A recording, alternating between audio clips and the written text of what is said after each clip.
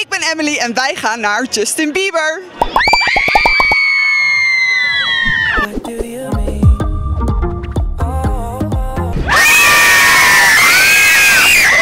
Ja, ik snap al die gillende meiden wel, want Justin is natuurlijk ook wel ongelooflijk knap.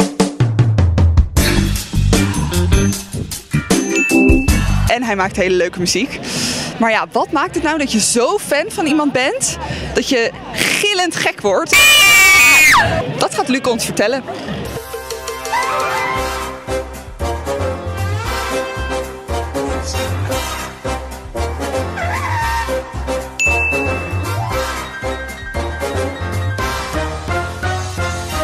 Het is lastig om één specifieke oorzaak aan te wijzen van de Bieber fever.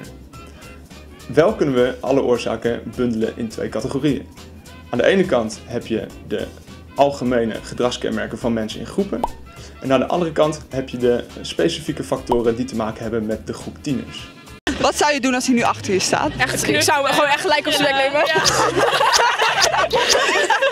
Ja, hij gaat natuurlijk zo meteen optreden. En gaan jullie dan helemaal uit je dak, kan ik me wel voorstellen. Tuurlijk. Alle liedjes mee. Nou, mijn stem is nu al weg, dus het wordt zijn bek niet.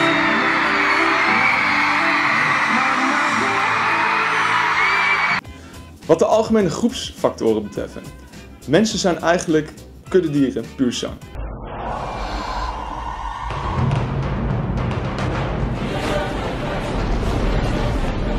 We houden van groepen, daar voelen we ons veilig en dan voelen we ons gezien. En dan kunnen we een identiteit geven aan onszelf. Wat je merkt in groepen is dat gedrag heel makkelijk gekopieerd wordt. En niet alleen gedrag, maar ook emotie en energie.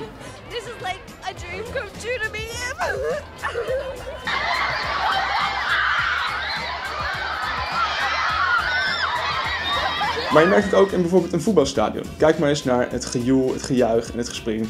Alle sociale normen kunnen gewoon eventjes de deur uit.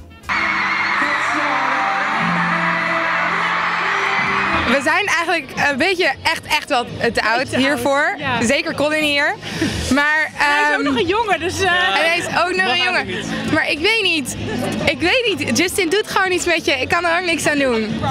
Dus ik, ja, ik wil gewoon heel volwassen en cool blijven nu. Maar ik weet niet of het me gaat lukken. En dan heb je nog de categorie, de kenmerken die behoren tot groep tieners.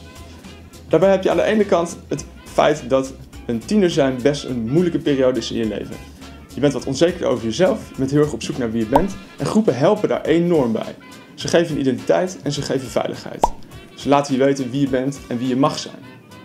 Daarnaast merk je dat je in de tienertijd je gaat afzetten van je bekende rolmodellen, namelijk je ouders. En heel erg op zoek gaat naar nieuwe rolmodellen. En deze rolmodellen worden eigenlijk aangeleverd door de media, die ontzettend veel informatie geeft over bekendheden en beroemdheden. En ze ook afschildert als de perfecte mens. En aan wie kun je je beter meten dan zo'n beroemdheid? Waarom vinden jullie Justin Bieber zo geweldig? Ehm, hij is geweldig. Hij kan heel goed zingen en hij is super knap. Zijn nieuwe nummers zijn ook gewoon zo gaaf. Zijn echt heel leuk. Zijn jullie een beetje verliefd? Ja! Ja, zeker. Oké, nou geniet ervan. Dankjewel.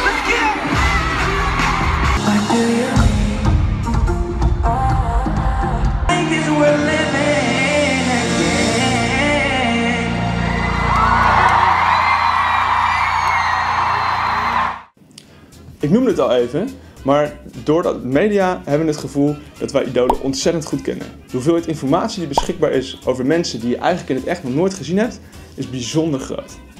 Het gekke is dat we hierdoor het gevoel hebben dat we die persoon ook echt persoonlijk kennen, terwijl die persoon ons nog nooit gezien heeft. En dit zorgt dan ook voor dat wij op een dergelijk concert zo graag willen dat iemand ons dan ook terugziet, dat we beginnen te grillen, schreeuwen, joelen, noem het maar op.